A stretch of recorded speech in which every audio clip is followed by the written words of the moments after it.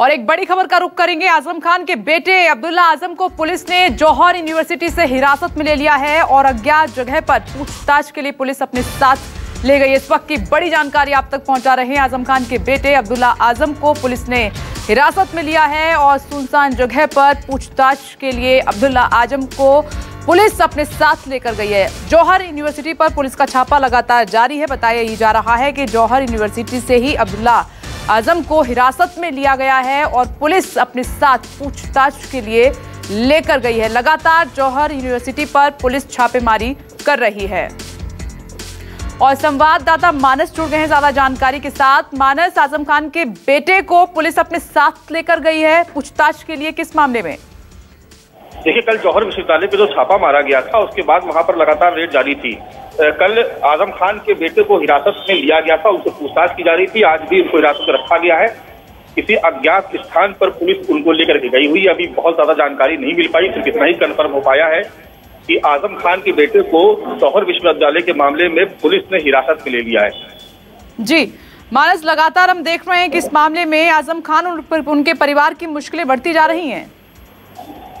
जी, देखिए, निश्चित तौर पर पहले तो मुकदमा दर्ज हुआ, उसके बाद उन पर पेनाल्टी लगाई गई और उसके बाद अब लगातार चूँकि जाँच चल रही है और जैसा कि पहले भी बताया गया था कि उनका नाम भूमाफिया की लिस्ट में पोर्टल पर उनका नाम लिस्ट कर दिया गया था, यानी इनको एक तरीके से भूमाफिया घोषित कर दिया गया था। उसके बाद से पुलिस उसमें जाँच कर रही थी और कल भी पुलिस देखा भी था, कल टीम पहुँची थी, वहाँ पर बड़ी तादाद में फोर्स थी, वहाँ पर काफ़ी लंबे समय तक वहाँ पर कागज़ खंगाले जाते रहे और उसके बाद इस पूरे मामले में आज़म खान के बेटे को पुलिस ने हिरासत में ले लिया, हालाँकि गिरफ्तारी नहीं हुई अभी। हिरासत में लिया गया है गिरफ्तारी तब हो सकती है जब मुकदमा दर्ज होगा तो गिरफ्तारी नहीं हुई लेकिन हिरासत में ले लिया गया पुलिस की कस्टडी में पूछताछ जारी है। जी मानस कोई तो जानकारी मिल रही होगी क्योंकि कल पुलिस पहुँची थी पूछताछ लगातार जारी है अब आज़म खान के बेटे को अपने साथ लेकर गई है। कोई तो हिंट कहीं से मिल रही होगी? देखिए ये माना जा रहा है कि पुलिस उनको गिरफ़्तार कर सकती है लेकिन क्योंकि अभी हिरासत में पुलिस का ये पुलिस की तरफ़ से ऑफिशियल कुछ भी नहीं कहा गया है ऑफिशियली जो जानकारी मिली है, वो ये मिली कि जो दस्तावेज़ और जो पुस्तक पुलिस के हाथ लगे हैं, उनकी तस्दीक करवानी, उसके लिए आज़म खान के बेटे को हिरासत में लिया गया है।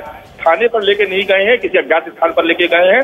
पूछताछ उनसे की जा रही है। पूछताछ के बाद ही पुलिस ये बता पाएगी कि उनको गिरफ़्तार किया गया है या उनको हिरासत से ही रिहा कर दिया जाएगा। मानस क्या कुछ दस्तावेज़ भी जब्त किए गए हैं जो आज़म खान के बेटे अब्दुल्ला आज़म से कुछ संबंधित हों, जुड़े हुए हों? जी देखिए कल जो छापेमारी कल हुई थी उसमें जौहर विश्वविद्यालय से संबंधित तमाम दस्तावेज़ वहाँ पर जमा किए गए थे। कई लोगों से वहाँ पर पूछताछ की गई थी। जो। विश्वविद्यालय के जो तमाम जो पदाधिकारी है उनसे पूछताछ की गई थी। उस दस्तावेज़ जब्त किए थे उसी को लेकर के पूछताछ की जा रही है। और इसीलिए आज़म खान के बेटे को उमर अब्दुल्ला को इस पूरे मामले में उठाया गया है कह सकते हिरासत में लिया गया है। अभी गिरफ्तारी नहीं हुई है। जी। मैं बार बार कह रहा हूँ की गिरफ्तारी तब होगी जब पुलिस इसका ऑफिशियल अनाउंसमेंट करेगी। हिरासत में लेना और गिरफ़्तार करना दो अलग अलग तथ्य होते हैं तो गिरफ़्तार नहीं क्या सिर्फ़ हिरासत में लिया गया है? जी। मानस शुक्रिया आपका। आप नज़र बनाए रखें जानकारी हमें देने के लिए। तो आज़म खान के बेटे अब्दुल्ला आज़म को पुलिस ने हिरासत में ले लिया है। अभी तक ये पता नहीं चल पा रहा है कि पुलिस अब्दुल्ला आज़म को कहाँ पर लेकर गई है। कल जौहर यूनिवर्सिटी पुलिस पहुँची थी। छापेमारी लगातार जारी है। कुछ डॉक्यूमेंट, जो दस्तावेज़ थे, वो भी मिले हैं। और अभी खबर यही है कि अब्दुल्ला आज़म पुलिस की हिरासत में है।